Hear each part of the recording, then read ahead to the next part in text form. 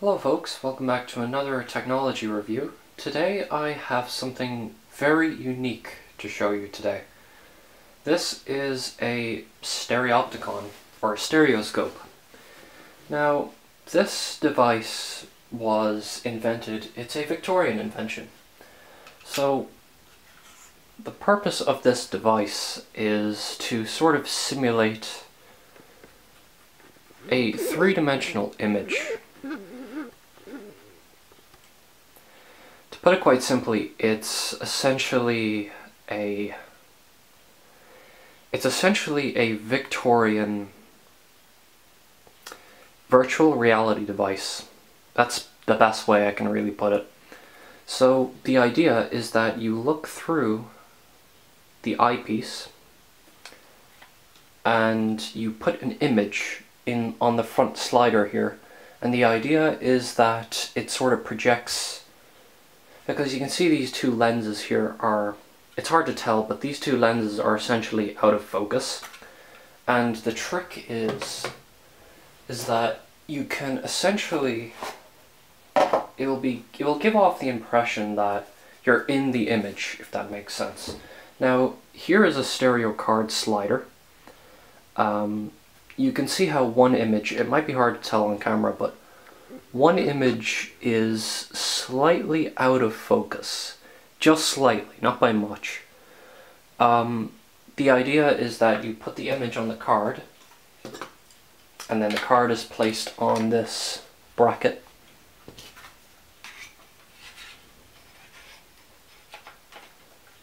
Just like that. And then you will look through the eyepiece, and then you will move the bracket forward to put it into focus and it will give off a sort of 3D effect. It's a very, very interesting device. It's They were very popular in the Victorian era and they were popular I think in the 60s and the 50s as well. Now my particular device, see if I can show you. Okay, I'm using manual focus here. Okay, so you can see there says April 20th, 1887.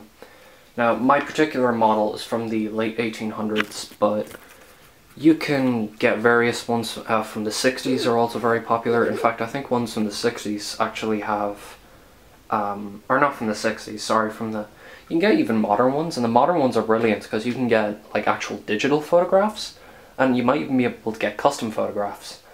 Um, obviously, antique models will, you know, fetch a high price. I got mine for about 40 euros um, off eBay. But it's an absolutely fantastic piece, and what's great about them is that stereo cards. Now I have a uh, I have a good bundle of them here. Stereo cards are generally quite cheap. Actually, I got a bunch of these ones. I think these are from the 1930s, if I'm not mistaken. Well, at least they smell like they're from the 1930s. Or in all seriousness, there is actually uh, there's one that has a date that's dated in 1936, but yeah, so no, that doesn't. So you can get various subjects here. I have a, a farming example here. There's some uh, sheep. Uh, I think these were taken in the U.S. or something like that. Uh, you might be able to get historical events as well. Uh, that was very popular. A lot of postcards are also um, based in the stereo card format. There's a beautiful lake there. Um, and these stereo cards are super, super cheap as well, which is fantastic. Great for collectors, unless you're getting something specific. The tricky thing that I see a lot of people struggle with is actually getting the image into focus. Um, so to get the image into focus, I kind of elaborated this at the start of the video, but it's hard to explain. You kind of just need to do it yourself to understand what I'm talking about, but you sort of need to cross your eyes and then focus on one side of the image and then slowly move forward and the image will basically merge together. It's very hard to explain. You kind of just need to mess around with it. I know I had to mess around with it for a good while before I got it to work, but it's an absolutely fantastic piece. Actually, I wonder. Okay, no I can't. I was going to try like get it into focus. I might be able to take an image and then just show you exact. Well, I can't really because the 3D effect is only in person. It's not like something I can show you uh, digitally. You kind of need to actually hold one of these yourself and play around with it to get exact an idea of what I'm talking about. Um, but that's the sort of idea. So yeah, I just thought I'd show you this. It's an interesting little piece. It's actually the oldest, the oldest antique that I own.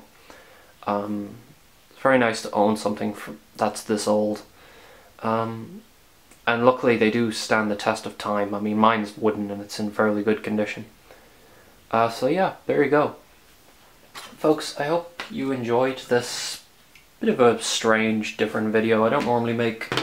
I, I mean, I have antiques, but I don't normally show off uh, these sort of things. So, yeah, let me know what you guys think. And, yeah, suppose I'll see you guys in the next video. Take care and goodbye.